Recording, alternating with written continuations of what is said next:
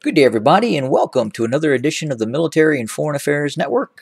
I am your host, the voice of reason. And on my screen there, you will see United States nuclear attack submarines.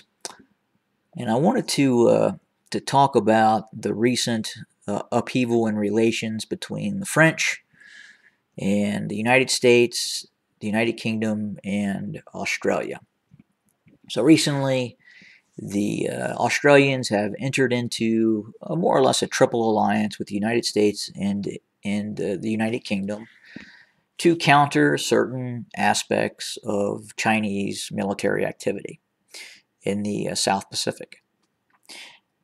And uh, one of those abilities that would be transferred to the Australians uh, was the idea that that the United States would assist the Australians with obtaining a, a nuclear attack submarine capability, and that would be along the lines of the U.S. Virginia class submarine um, and the improved Los Angeles attack submarine.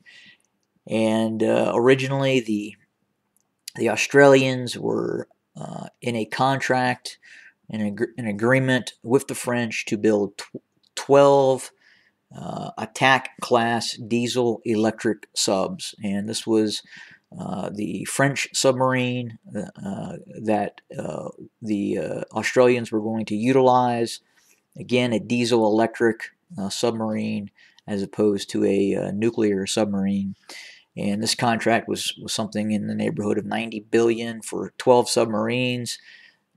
And uh, again, a significant contract, a significant financial loss for the French.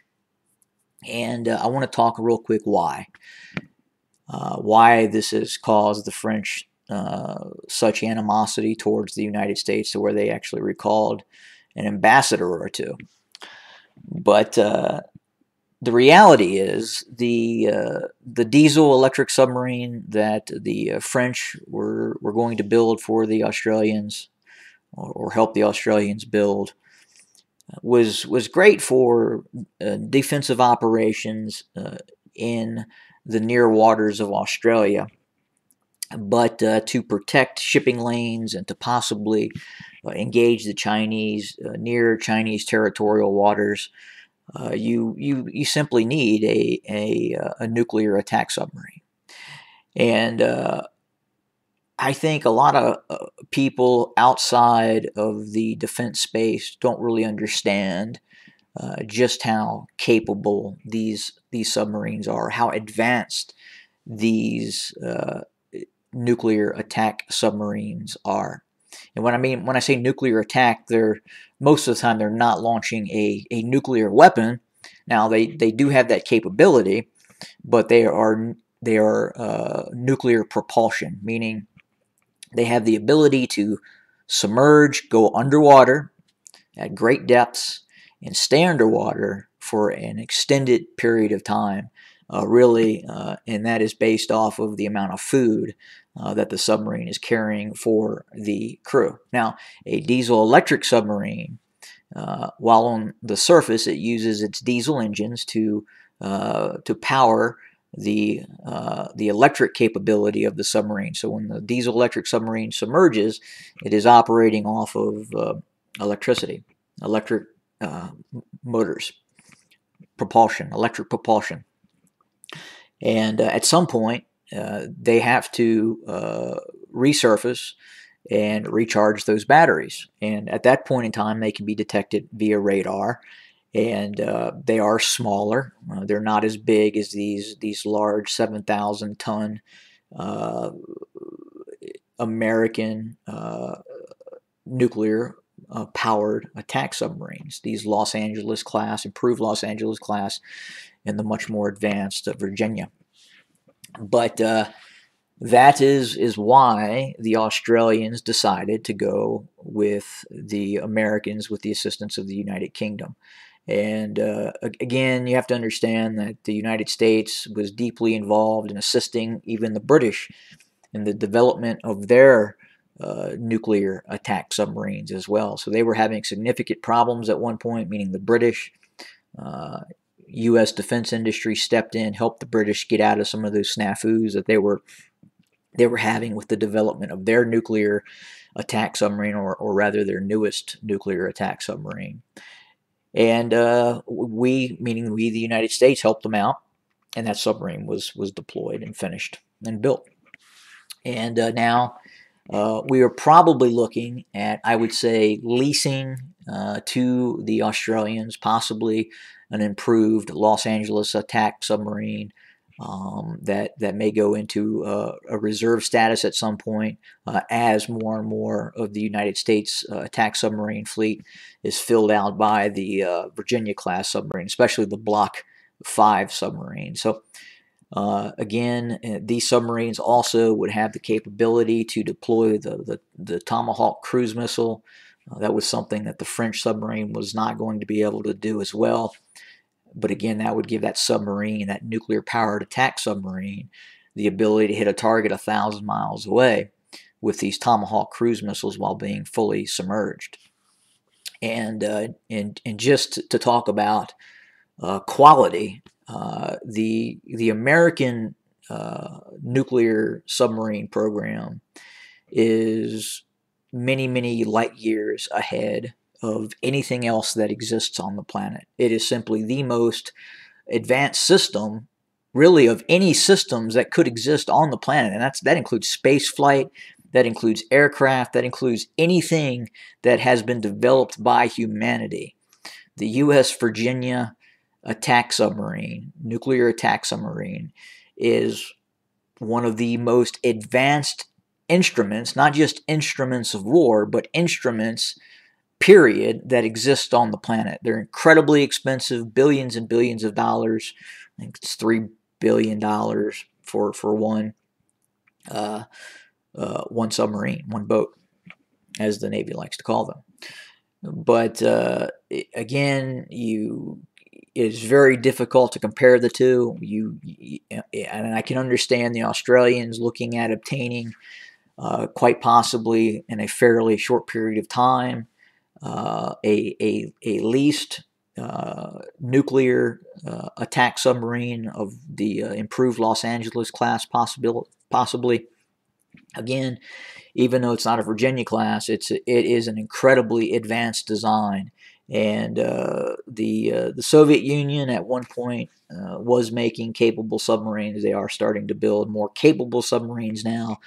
But unfortunately for the Russians, they went through an extended period of time of economic calamity in which research and development was simply not uh, did simply not exist where they could keep up with the United States in terms of these technologies that are now being deployed by these these very advanced submarines and again uh, the United States builds many of them um, we uh, we we currently deploy uh, 19 uh, Virginia class submarines, and we're building more and more. The Block 5 version of the submarine will be able, be able to deploy many more Tomahawk cruise missiles. Uh, right now, the Virginia deploys a vertical launch system uh, in the uh, forward area of the submarine where it launches 12 of these Tomahawks. The, the new Block 5s will also be able to fi uh, uh, fire off 28 Tomahawks uh, off the, uh, the the rear of, of towards the rear of the submarine or, or the midsection of the submarine. But uh, the that is uh, uh, the reason that uh, Australia has decided to go this route. Nothing against the French. It's just the French. Do the French have a nuclear submarine? Yes, they do. Can they build nuclear submarines? Yes, they can. But again, uh, the United States is just so much more experienced. It, you're looking at a, a vast submarine fleet with 60 boats, and all of them are nuclear attack submarine. I think the French have eight total. I think four ballistic missile submarines and four attacks. I could be wrong on that. Maybe it's four or six of each. But again, that uh, that experience of building these these submarines is there, and and just comparing the two, you can't. You cannot compare a diesel electric submarine with the capability that exists with a uh, a, a, a, modern uh, American Virginia or improved Los Angeles class submarine. You just cannot compare the two. Now, yes, uh, arguably the uh, uh, the, the diesel electric submarine is quieter when submerged and operating off uh, electrical pr propulsion. Uh, but again, at some point, uh, they have to resurface and recharge, and and they're going to be identified then. And and uh, again, the ability for these nuclear attack submarines, they they go underwater, and uh, unless you have a capable submarine hunting fleet or abilities to identify these these these uh, these boats, these submarines, um, you're just not going to find them, and they're going to wreak havoc. And and uh, that's one common issue right now that is very well known between the military capability of China and the military capability of the United States. The Chinese fully understand that the United States would just destroy the Chinese Navy with with alone the uh, nuclear attack boats that the United States possess. There's nothing really the Chinese can do to counter this force.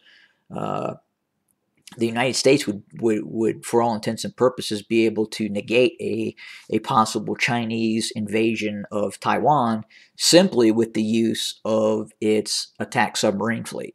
Again, this whole concept of having to have deploy, forward deploy these carriers where they could be targeted by uh, Chinese uh, anti-ship ballistic missiles if they work, and uh, long-range anti-ship missiles is a mute point because the United States could simply pull back those carriers, forward deploy its its attack submarine fleet, and just cause utter havoc with any invasion plans the Chinese may have. And there's not much the Chinese can do. The Chinese do not have the capability to track um, the uh, the American uh, nuclear attack capability in terms of submarine. They just don't.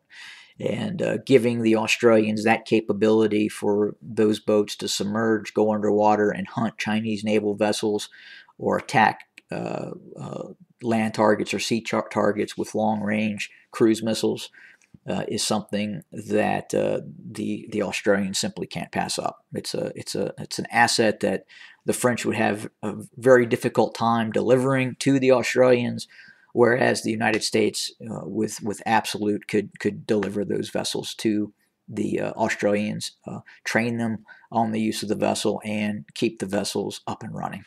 But uh, just wanted to touch on that. Have a great day, everybody.